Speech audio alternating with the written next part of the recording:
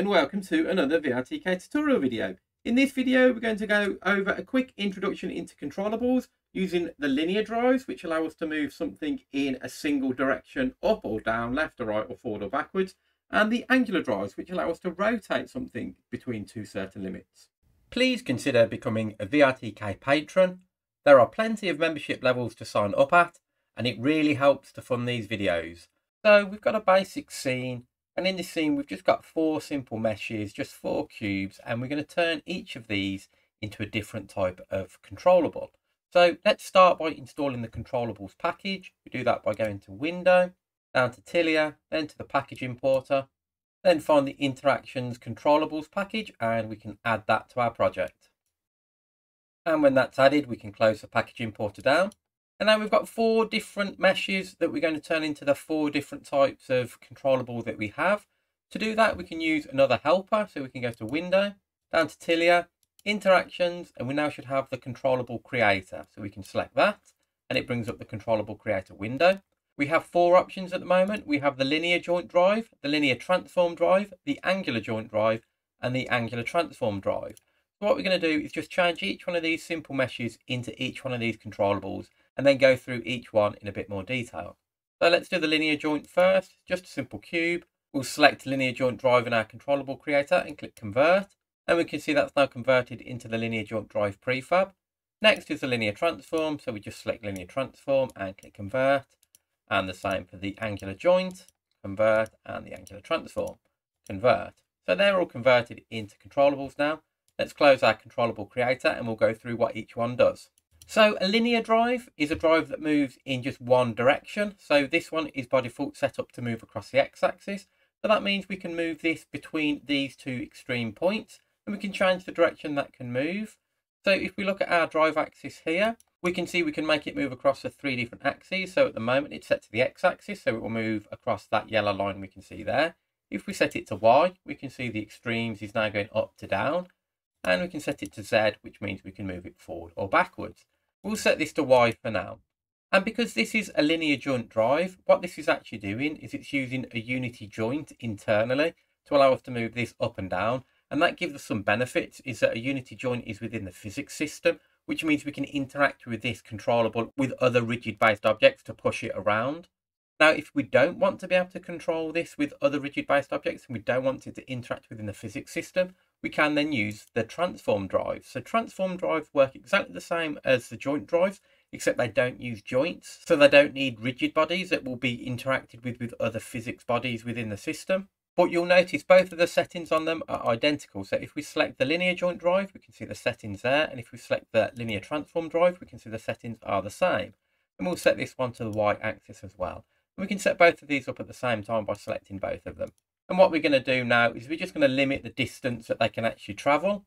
So this drive limit is set to 1, which means it's a unit of 1 that it can travel in either direction. We're just going to make this a bit smaller, set it to 0.3. And we can see the gizmo is now showing this is the minimum that it can be, this is the maximum that it can be. And that's all we need to do to set up our linear drive. So if we were to grab these, we'd be able to drag it all the way up to the top, but it wouldn't go past that point. And drag it all the way down to the bottom, but it wouldn't go past that point.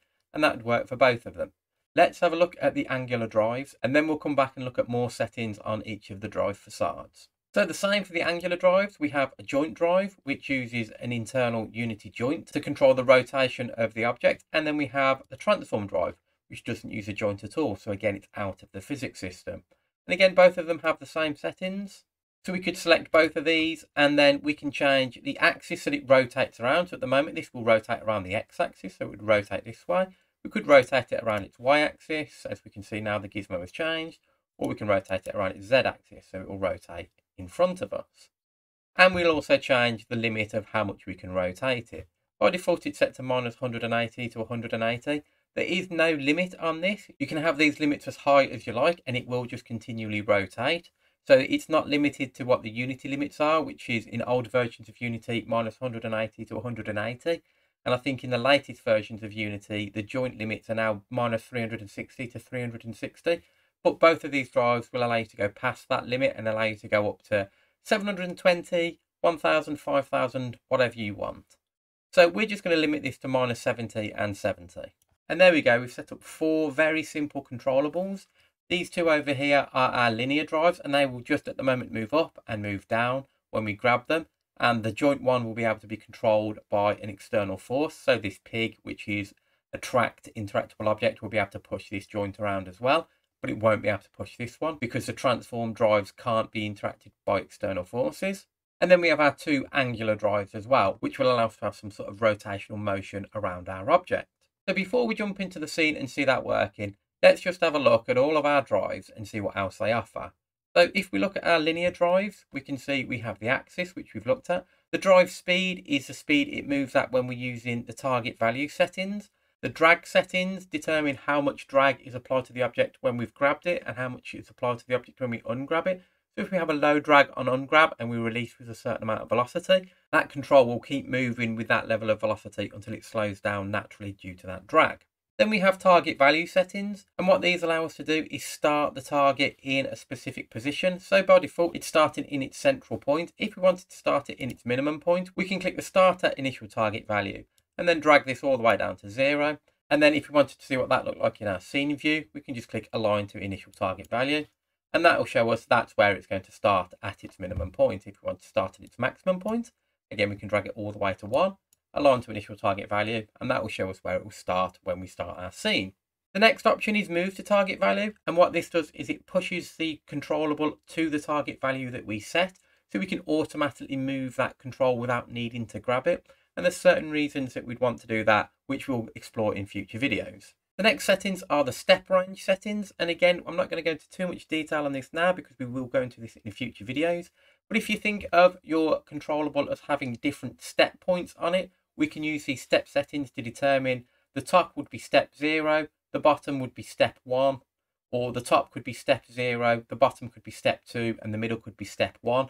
And we would know when we're in each of those specific steps. And then if we were released between a step, we could then get the controllable to snap to that step for us using that drive speed. So it can only be in one of three positions. And we will look at that later in other videos as well. And then finally, we have the drive limit, which allows us to set how far up and down this drive across the axis it will go. We also do have a number of events on the controllables. When the value changes, and in a linear drive, this means it's positional change, and in an angular drive, it means it's rotational change. We get the updated value when its step value changes. So as I said, if we had a simple one, which is 0, 1, and 2 at the bottom, when we move between those three values, we'd get the step value change. Our normalized value is basically when it goes between the zero to one point. When we've got a target value set and when we've reached that, we get it. We also get an event when the controllable starts moving and when it stops moving. And these events are the same for both the linear and the angular drives. We can see they're the same in both.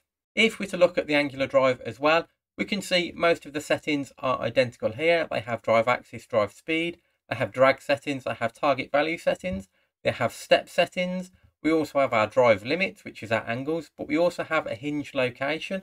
So by default, the hinge location is in the center. But if we wanted to rotate around one of the corners, we could simply move that to the desired location. So as we can see, I've moved that hinge location up here, which means this object would now rotate around that hinge point and not the center. But for this example, we're just going to go around the center. And there we go. We've got our four controllables set up. Let's jump into the scene and we'll have a quick look at what they do. So now we're in the scene, we can see our linear joint drives here. If I was to grab one and move it, we can see I can pull it up and down and it can't go past those limits that we've added. And again, for the other one, we can grab, drag and drop and push that up. If I was to grab our pig over here, we can see if I push it onto the transform drive, it can't actually affect it. But if we push it onto our joint drive, we can see we can actually affect our joint drive with our grabbed object. Let's move over to the angular drives. So with our angular drives, we can see if we grab them, they will now spin around that Z axis as we have set up. And this is the joint drive. So again, we can pick up our pig and we can see we can actually interact with that with an external object. With our transform drive, we can see we can control the rotation in the same way. And if we were to try and control it with our pig, we can see that cannot interact with it and there we go. We've set up four simple controllables. As I say, we are going to do some future videos showing how we can use these controllables to create interactable controls that we will be able to use in different manners. I hope this video has been useful to you. If it has, please consider subscribing to the YouTube channel. Leave any likes, dislikes, comments down below, please consider becoming a VRTK patron and I'll see you for the next video. Thanks for watching and bye for now.